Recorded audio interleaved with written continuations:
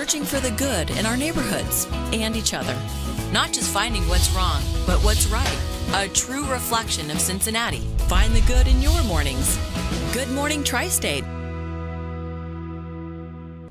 This is WCPO 9 News. We thank you for choosing us. I'm Evan Millward. Here's a look at some of the top stories at this hour. We now know the name of the man shot and killed in East Price Hill. Police say 25 year old Dantes Hollis was shot in the 1700 block of Grand Avenue late this morning.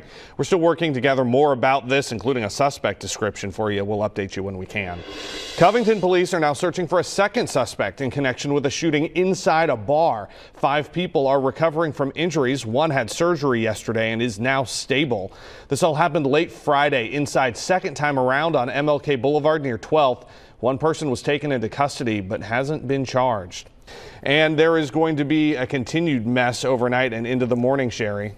Hello, everyone. Uh, we had a little bit of rain today and a little touch of snow out there, but now we have another winter weather advisory for areas you see here shaded in purple, greater Cincy North, and even some of our southwestern Ohio counties and southeast Indiana. We're going to get that from 7 a.m. until 1 tomorrow. That's that uh, advisory time. That's when we're going to see a wintry mix. We'll get a little bit of snow, a little bit of freezing rain, a little wintry mix, and a good bit of rain. We're going to see one less than an inch of snow out there and less than a tenth of an inch of ice. It's not a major problem. However, it is going to be pretty cold at the surface. So if you're out and about in the morning when that precipitation starts, slow it down. Much of this is going to be rainfall. In fact, by the time we get into tomorrow morning is when we start to see it around 7 to 8 o'clock or so.